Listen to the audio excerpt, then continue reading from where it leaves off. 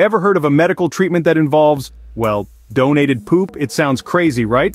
But before you click away, hear me out. This isn't just your average bathroom humor. We're diving into the fascinating world of fecal transplants, a treatment that's revolutionizing gut health. Imagine, feeling constantly unwell, battling stubborn infections and conventional medicine just isn't cutting it. Then boom, a healthy dose of, you guessed it, changes everything. Sounds unbelievable, right? But that's the potential of this groundbreaking therapy. This video isn't just about the weirdness factor, though let's be honest it is kinda weird.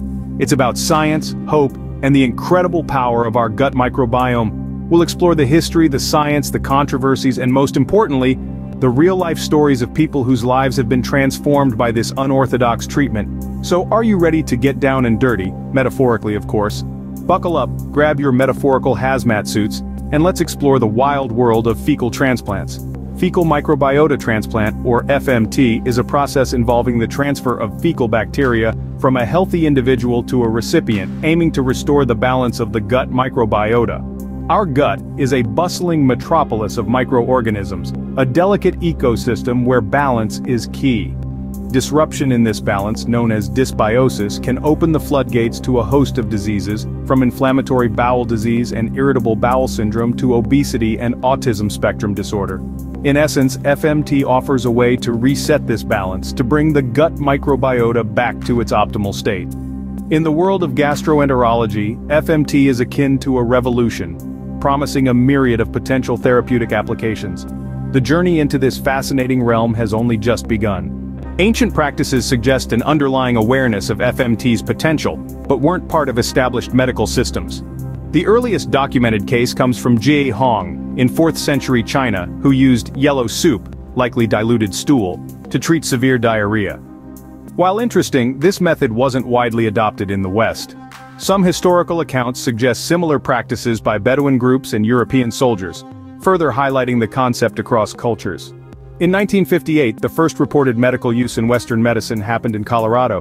Dr. Ben Eisman treated four critically ill patients with fulminant pseudomembranous colitis, later known as C. diff, using fecal enemas from healthy donors. All patients recovered quickly. In 1988, Dr. Thomas Borody in Australia treated an ulcerative colitis patient with FMT, leading to long-term symptom resolution. However, some question the validity of this specific case due to lack of independent verification. The 1958 case marks the documented start of FMT in modern medicine, although its details differ from today's procedures, and the 1988 case may not be fully verified, but still contributes to the narrative of FMT's development. Embarking on the journey of fecal microbiota transplantation one encounters various meticulous steps from donor screening to the actual transfer, the first step, donor screening is paramount. Potential donors are meticulously evaluated for any infectious diseases, metabolic conditions, or other health issues that might be transferred through the fecal microbiota. This includes a comprehensive medical history review, physical examination, and extensive laboratory testing. A key focus is ensuring that donors have not recently used antibiotics as this can significantly alter the gut microbiota. Following successful screening we move to the second step, stool collection. This is a crucial phase where timing and technique matter. The donor's stool must be collected within a short time frame after defecation, typically within six hours. It is then stored in a sterile anaerobic environment to maintain the viability of the microbial community. Next comes the preparation phase. The collected stool is processed in a laboratory under strict anaerobic conditions to keep the bacteria alive. It is mixed with a saline solution, homogenized, and then filtered to remove any solid material. The resulting fecal suspension is a rich concoction of the donor's gut microbiota, ready for transplantation. The final step is the transfer. This is where the prepared fecal suspension is introduced into the recipient's gastrointestinal tract. The most common routes are through colonoscopy, nasogastric tube, or capsules taken orally. The choice of route largely depends on the recipient's condition and the treating physician's preference. Each of these steps is carried out with utmost precision and care. From choosing the right donor to ensuring the fecal suspension is properly prepared and administered, every detail is accounted for. It's a complex yet fascinating process, intertwining the mysteries of our gut microbiota with the promise of healing. The meticulous procedure of fecal microbiota transplantation ensures the safety and efficacy of this intriguing therapeutic approach. FMT's most notable application lies in combating the formidable Clostridium difficile infections. Imagine a world where a single bacterium can wreak havoc within the gastrointestinal tract, leading to severe diarrhea and life-threatening inflammation of the colon. That's the reality of Clostridium difficile, or C. diff, a stubborn pathogen that has confounded medical practitioners for decades. Enter fecal microbiota transplantation. This seemingly unconventional procedure has proven to be a potent weapon against recurrent C. diff infections. By introducing a healthy donor's fecal matter into an infected individual's colon, we can effectively repopulate the gut with beneficial bacteria, thereby outcompeting C. diff and restoring balance within the gut microbiome. No longer are we left defenseless against the onslaught of this relentless pathogen. FMT has shown remarkable success rates, with clinical studies reporting resolution of symptoms in up to 90% of treated patients. This is a significant stride in gastroenterology, a field that continuously faces the challenge of antibiotic resistance and recurrent infections.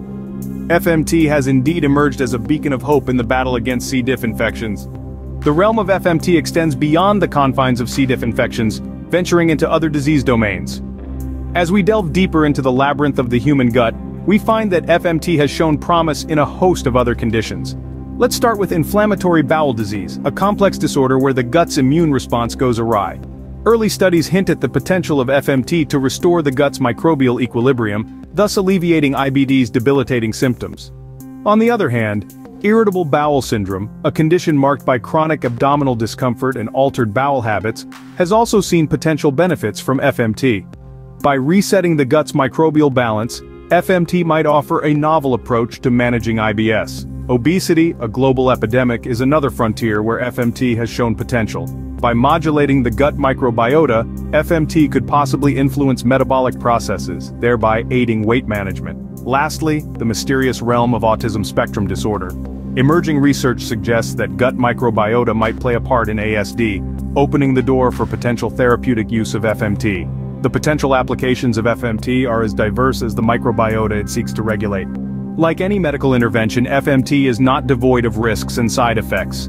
Unveiling the underbelly of fecal microbiota transplantation, one must tread with caution, the potential risks and side effects associated with FMT are multi-layered. Infection risks are a primary concern, as despite rigorous donor screening, the potential for transmission of pathogenic organisms persists. The complexity of the gut microbiome and our limited understanding of it make predicting and preventing these infections challenging. Then there are adverse reactions. Patients may experience short-term side effects like discomfort, bloating or diarrhea, but the long-term implications can be even more profound. The gut microbiome is a delicate ecosystem and altering it could potentially lead to unforeseen health issues. The risk of unpredicted long-term effects also looms large. As we dive deeper into the vast ocean of the human microbiome, we are only beginning to grasp its influence on our overall health. The risks and side effects of FMT underscore the importance of rigorous research and regulatory oversight in this field. Standing at the frontier of gastroenterology, one cannot help but wonder about the future trajectory of fecal microbiota transplantation. Recent academic studies are brimming with tantalizing prospects, revealing a potential goldmine of therapeutic applications. Technological advancements are playing a pivotal role in shaping this future. Microbiome sequencing, for instance, is allowing us to map the gut's microscopic cosmos with unprecedented precision. This could lead to highly personalized FMT treatments, tailored to the unique microbial fingerprint of each patient. Ongoing research is also pushing the boundaries of FMT beyond the realm of intestinal disorders. Preliminary studies suggest its potential in managing systemic conditions, such as cardiovascular disease and even neurological disorders. What's more, the exploration of synthetic microbiota transplants built from scratch in the lab could revolutionize the field, eliminating the need for human donors and the risk of pathogen transmission. As we delve deeper into the mystery of our gut microbiota, FMT stands poised to redefine the boundaries of gastroenterology. We hope you found this journey into the world of fecal microbiota transplantation enlightening. The complexities of our gut microbiota and the potential of FMT are truly fascinating subjects. As we continue to unravel the mysteries of our gut, one thing is clear. FMT will play a significant role in the future of medicine. If you enjoyed this video please give it a thumbs up. Your support helps us to continue producing content that explores the intriguing world of science. And if you haven't done so already, don't forget to subscribe to SciSips for more fascinating insights into the world of science. This video is for informational purposes only, and should not be interpreted as medical advice. Please consult with your healthcare provider for personalized guidance on your specific health concerns.